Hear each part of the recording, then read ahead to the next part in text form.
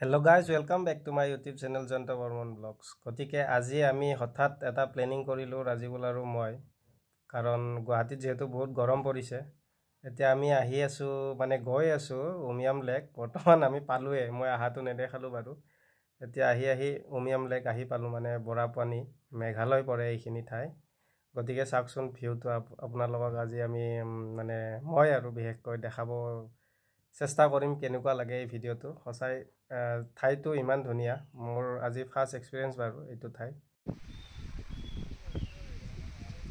গতিকে এইখনে হৈছে উমিয়াম লেক আৰু কি ধুনীয়া এটা পৰিৱেশ চাওকচোন। মই এতিয়া আমি ৰাজীৱল আৰু মই এতিয়া তলত যাম বাৰু। তথাপিতো এইফালে আপোনালোকে থাকিব পাৰে এইফালে ৰিজৰ্ট আছে। আৰু এনেকৈ মানুহবিলাক আহি আছিলে। এতিয়া আমি তলৰ ফালে যাওঁ কেনেকুৱা লাগে এবাৰ চাওঁ। এয়াই হৈছে উমিয়াম কি ধুনীয়া একেবাৰে কি বুলি ক'ম আৰু। ধুনীয়া এটা পৰিৱেশ বিৰাজমান কৰি আছে। আৰু যিটো গৰম পৰিছে সেই গৰমত মানে এনেকুৱা এটা ঠাই মানে মই ভাবোঁ পাৰফেক্ট এয়াই হৈছে উমিয়াম লেক এটা মানে সাগৰ সাগৰ টাইপৰ ফিল কৰিছোঁ। গতিকে সাগৰৰ পৰা এটা ঢৌ ঢৌৰ ঢৌৰ জৰিয়তে এটা ধুনীয়া ধুনীয়া মানে ঠাণ্ডা ঠাণ্ডা হাৱা মাৰি আছে বতাহ মাৰি আছে কি ধুনীয়া এটা পৰিৱেশ এনেকৈ আমি আহিলোঁ হঠাৎ বাৰু প্লেনিংবিলাক হঠাতে হয় মোৰ। বলকচোন এতিয়া তলৰ ফালে যাওঁ কেনেকুৱা লাগে এবাৰ চাওঁ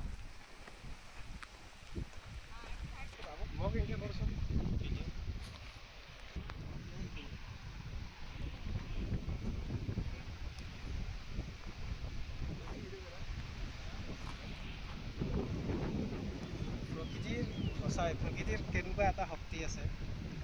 মানে অহাৰ লগে লগে আপোনাৰ যদি মনটো চেঞ্জ নকৰে। মানে মই এইটো ক'বই বিচাৰিছিলোঁ যে প্ৰকৃতিৰ এনেকুৱা এটা শক্তি যিটো শক্তিয়ে আপোনাক এনেকুৱা এটা ঠাইত অহাৰ লগে লগে আপোনাক সকলোবিলাক সলনি কৰি দিব। আপোনাৰ মন একেবাৰে ট'টেলি চেঞ্জ হৈ যাব। আৰু এইফালে হৈছে আমাৰ ধুনীয়া একেবাৰে মেঘে আৱৰি থকা এটা ধুনীয়া পৰিৱেশ।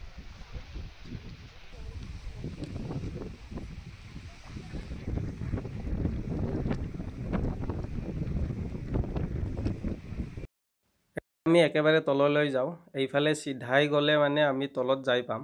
আৰু এইফালে যে এটা ৰাস্তা এনেকৈ গৈছে এইটো ৰাস্তা এইটো ৰাস্তাৰে গ'লে আমি সেইফালেও তলত যাব পাৰিম।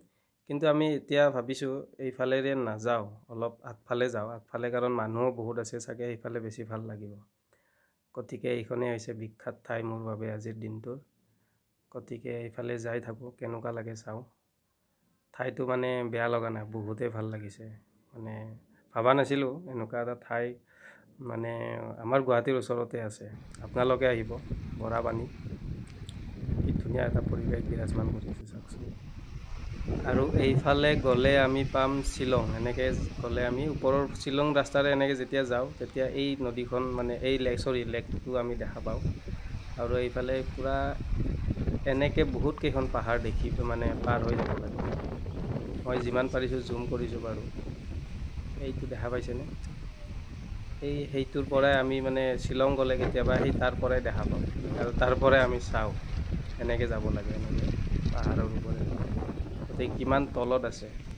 ভাবিছিলোঁ এই ইয়াত কেতিয়া যাই পাম কেতিয়া যাই পাম। সঁচাই আজি আহি ইয়াত কিবা থৈ দিছে নাজানো।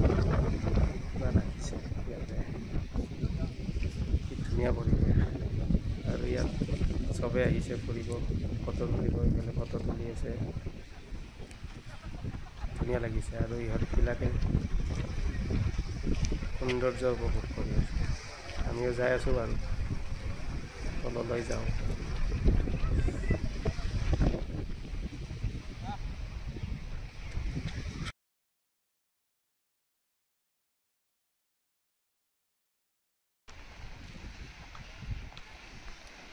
ক'ব গ'লে মজাটো এতিয়াহে লাগিছে। মানে হাতেৰে চুই চাম আৰু পানীখিনি। ফাইনেলি এনেকৈ গৈ আছোঁ চাওঁ কি ধুনীয়া বতাহ এটা মাৰি যায় আছে ন। একদম ভিতৰত লাগি গৈছে অন্তৰৰ ভিতৰত। জীৱনৰ যিমান দুখ আছে কষ্ট আছে চব যেন নোহোৱা হৈ গৈছে এনেকুৱা ফিল হৈছে আৰু আমাৰ টাইমিংটো মানে বহুত পাৰফেক্ট হৈছে। একেবাৰে বেলিটো যাওঁ যাওঁ যাওঁ যাওঁ হৈছে। বেছি ৰ'দো নাই। আৰু এনেকুৱা মানে এনেকুৱা লাগে যে এইটো এটা সৰু মৰু যেন সাগৰহে সাগৰত ঢৌবিলাক তেন আহি আছে আৰু আপোনাক সেই ফিলটো মজাটো দি আছে। তেনেকুৱা টাইপ অনুভৱ হৈ আছে অলপ মই দেখাব চেষ্টা কৰিছোঁ ইমান ভাল ভিডিঅ' কৰিব নাজানো যদিও। চাওঁ। দিব পাৰিছোঁনে নাই আপোনালোকক আপোনালোকৰ সেইখিনি। কি ধুনীয়া এটা ঢৌ আহি আছে আৰু পানীটো ইমানেই ঠাণ্ডা খুবেই ধুনীয়া লাগে।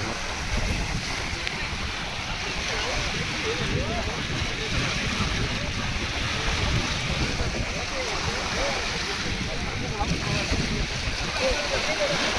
you.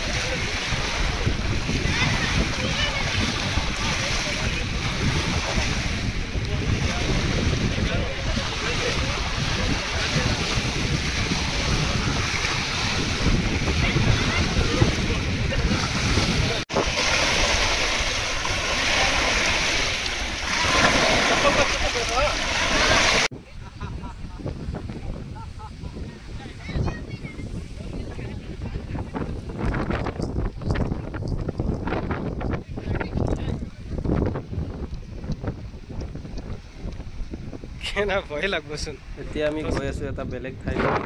বেলেগ ঠাই নহয় ওচৰতে আছে। মানে এই বটকেইখন যাবলৈ আহিছিলোঁ মানে ওপৰৰ পৰা দেখিলে একেবাৰে বটকেইখন একেবাৰে সৰু দেখি। তো আজি সন্মুখৰ পৰা দেখিলোঁ। এতিয়া মানে মই শ্বিলংটো বহুবাৰ গৈছোঁ। গতিকে সেই ওপৰৰ পৰা চাওঁ বটকেইখন বহুত সৰু দেখোঁ। এতিয়া তলত একেবাৰে তলত নামি যাওঁ। ধুনীয়া লাগিব। এই যে ৰখাই থৈ দিছে যে এই লোহাৰ এইবিলাক যে আছে তাত চাগে বহুতকেইখন ৰখায় তাত মানুহবিলাক উঠিব লাগে।